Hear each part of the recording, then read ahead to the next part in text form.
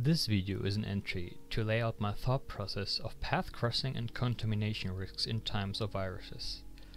When looking at the normal paths that people take in their day-to-day lives, it is interesting to see that the path of least resistance is often taken as the most logical path. That's why you would see things that are designed by architects and may look nice and finished, however they are completely taken by the normal human organic pathfinding. We could refer to this as natural behavior of the people that is subconsciously happening and without them knowing. Normally, when trying to propose a design to a building, the usage of that building is an incredibly important thing to keep in mind.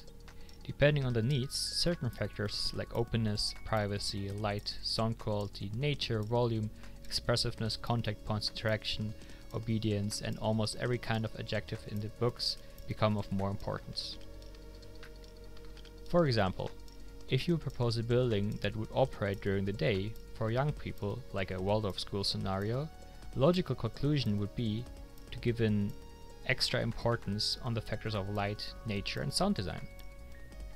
In another example, constructing a house for a photographer that needs special lighting situations but is otherwise a very isolating person that loves the city, while light in some of these spaces is important, and the artificial dark rooms as well, distancing yourself from the outside of the city is a necessary behavior that you want to project in this building. However, with the epidemic going on, those rather normal parameters of a building have to be decreased. For example, the desire of openness, connectivity, and contact points, to name a few. And on the other hand, increase factors like volume, interior satisfaction, and versatility. With the time today, and taking account of the idea of social distancing, masks, and viruses, the result of a building that reacts to those thoughts would be closeness, hygiene, and contact reduction. While we are experiencing the effect of the coronavirus today, it is important to note that completely changing the building style and behavior is an overrushed reaction to this virus. It would be a bad behavior in the long term and it might be useless then.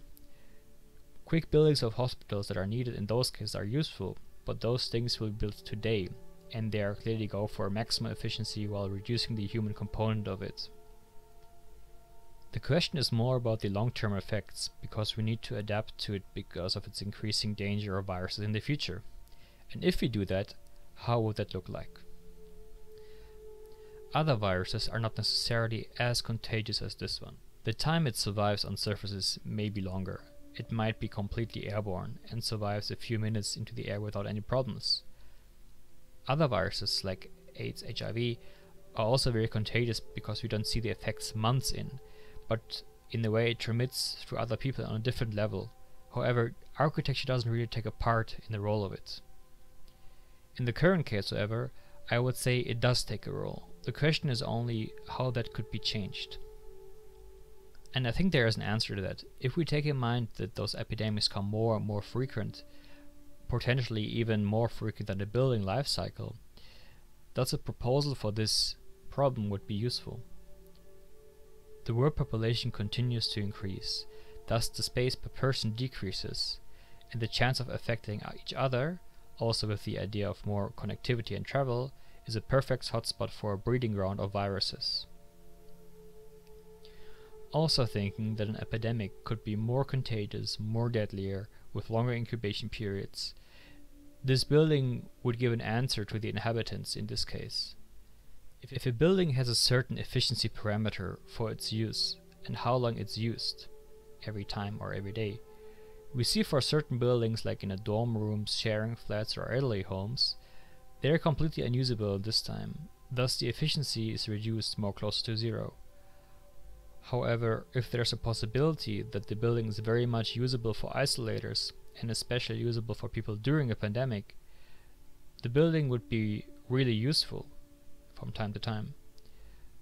So while in times of crisis the building is a better place to be in, it would be also compatible in day-to-day -day situations. While only a certain number of us wants to be in that position for only when the time is needed, it could be possible to give people the option to opt out in time of crisis. The building would need to be compatible with every kind of virus, otherwise innovating would be pointless.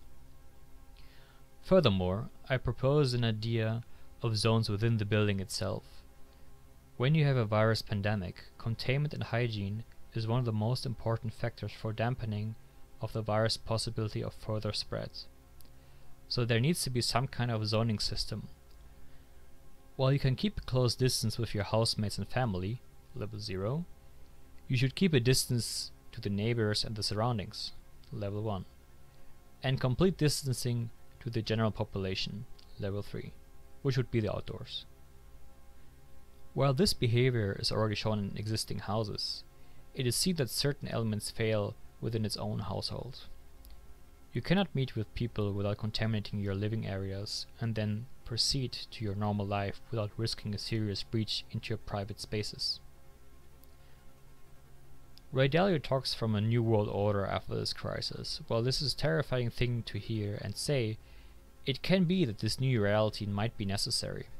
To help with this not happening again, every part of the life needs to adapt to it, and a massive wealth distribution would take place. To make sure that this will not happen again, it might be a norm to have this transformative change happen to every public and private space in the world.